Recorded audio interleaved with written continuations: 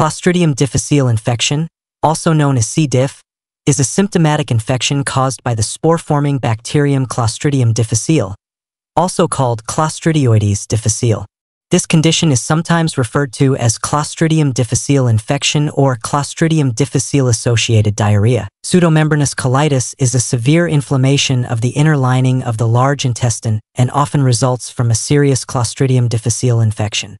Clostridium difficile infection is an increasing issue in healthcare settings. Approximately 20% of antibiotic-associated diarrhea cases are attributed to Clostridium difficile infection. Epidemiology. In the year 2011, there were approximately 453,000 cases of Clostridium difficile infection in the United States, resulting in 29,000 deaths. Global rates of Clostridium difficile infection increased between the years 2001 and 2016. Clostridium difficile infection is the most common microbial cause of healthcare-associated infections in United States hospitals, costing up to $4.8 billion annually for acute care facilities alone. Causation Clostridium difficile infection is spread through the fecal-oral route. The bacterium forms heat-resistant spores that can survive on surfaces for extended periods. These spores are not effectively killed by alcohol-based hand sanitizers or routine surface cleaning. Once ingested, the spores pass through the stomach and germinate into vegetative cells in the colon upon exposure to bile acids. Pathogenic strains of Clostridium difficile produce toxins, primarily enterotoxin, also known as toxin A, and cytotoxin, also known as toxin B, which can cause diarrhea and inflammation. Without either toxin A or toxin B, colonization by Clostridium difficile is unlikely to cause pseudomembranous colitis. Antibiotics can disrupt the normal gut microbiota, allowing Clostridium difficile to proliferate. Risk factors. Risk factors for Clostridium difficile infection include antibiotic use, proton pump inhibitor use, hospitalization, other health problems, and older age. Diarrheal illnesses can also increase the risk of colonization. Long-term hospitalization or residence in a nursing home within the previous year are independent risk factors for increased colonization. The rate of Clostridium difficile acquisition is estimated to be 13% in those with hospital stays up to two weeks and 50% with stays longer than four weeks. Signs and symptoms. Symptoms of Clostridium difficile infection range from mild diarrhea to severe life-threatening inflammation of the colon.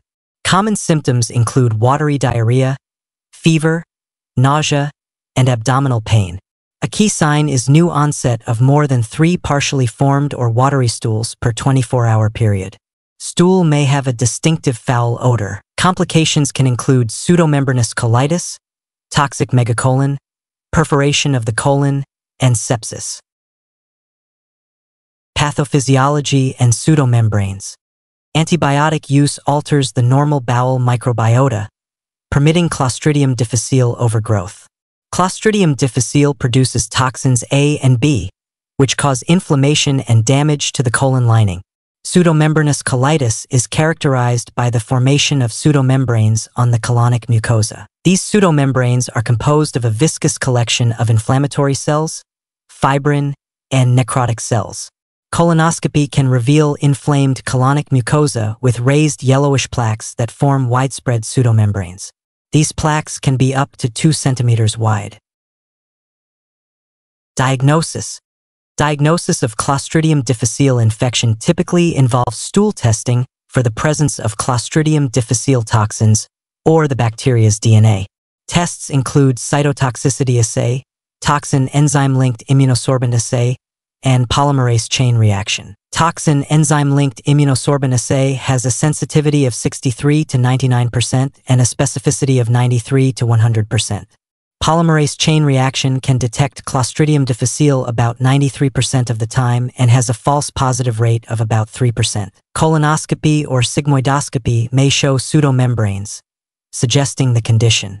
Stool testing for a cure after symptom resolution is not recommended as colonization may persist in up to 60% of patients. Consider initiating testing for Clostridium difficile colitis on inpatients having multiple 3 liquid consistency stools per day. Complications of pseudomembranous colitis. Complications of pseudomembranous colitis can include dehydration, kidney failure, toxic megacolon, bowel perforation, peritonitis, and death. Treatment. First-line antibiotic treatments for Clostridium difficile infection include metronidazole, vancomycin, and fidaxomicin. For severe Clostridium difficile infection, oral vancomycin is often preferred. Discontinuation of the inciting antibiotic may lead to symptom resolution in about 20% of those infected within three days. Fecal microbiota transplantation is highly effective, with success rates of 85 to 90% for recurrent Clostridium difficile infection when antibiotics have failed. Two oral fecal microbiota products, Rebyota and Vowst, have been approved for use in the United States. For a first recurrence, oral vancomycin or fidaxomicin are recommended. For multiple recurrences, options include vancomycin taper and pulse, fidaxomicin, rifaximin follow-up with vancomycin, or fecal microbiota transplantation. In severe cases of pseudomembranous colitis with complications like megacolon or perforation, surgery such as colectomy may be necessary. Bezlotoxumab is an antitoxin antibody that can reduce the risk of Clostridium difficile infection recurrence. Recurrent infection. Recurrent Clostridium difficile infection occurs in 20 to 30% of patients after the initial infection, with recurrence rates increasing with each subsequent episode. Prognosis.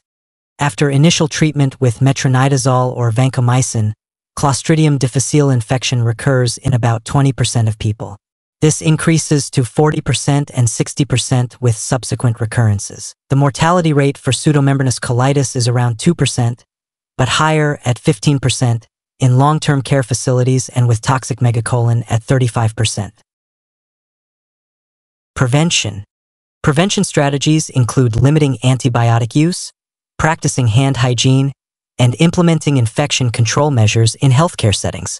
Washing hands with soap and water is effective at removing spores, whereas alcohol-based hand rubs are not. Rigorous infection protocols, such as wearing gloves and using single-person medical devices, are important. Terminal room cleaning in hospitals with products containing chlorine bleach can help destroy spores. Preventive measures in healthcare settings are essential to minimize transmission. These include strict hand hygiene with soap and water, contact precautions for infected patients, including private rooms, gloves, and gowns for staff and visitors until at least 48 hours after diarrhea ends, thorough disinfection of environmental surfaces with chlorine-based products, judicious use of antibiotics, education of staff and visitors on hand hygiene and transmission prevention, and regular assessment of the need for antibiotics and gastric acid suppressants.